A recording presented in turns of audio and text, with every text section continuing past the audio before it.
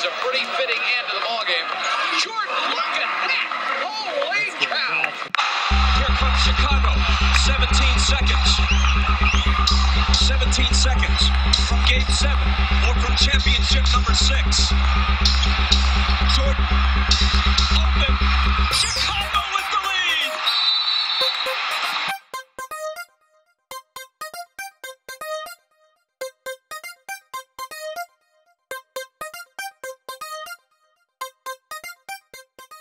Hello and welcome back with your host Sunny.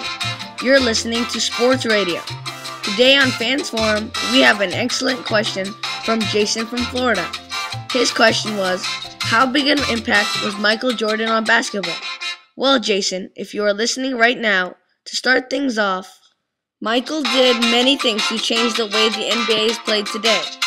First of all, he introduced a new way of scoring. He would use his athletic ability and crossovers to score, unlike before, where most players used their skill, not athleticism, to score. Jordan also made the NBA more popular by using trick moves such as the crossover, spin move, and of course, dunking to make the game more exciting to watch.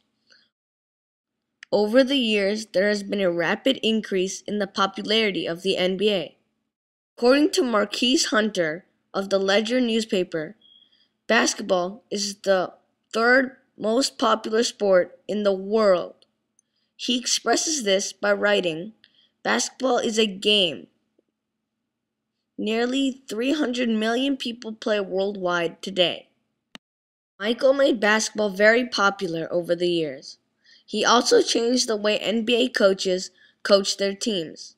Nowadays, most teams obtain unique players in which they can trust to score day in and day out.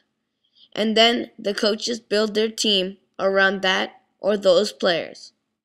He also made a huge difference on the fashion in the NBA. Not only did Jordan own his own clothing line after finally accepting Nike's offer in 1985, he also was one of the first basketball players to play with shorts that go past your knees. The cool reason he did that was to cover up his college shorts, which he wore under his Bulls uniform as good luck. Oh, looks like we're all out of time. I hope I answered your question. How big of an impact was Michael Jordan on basketball? Thanks, Jason, so much for asking such a great question. See you next week with another great question from the fans.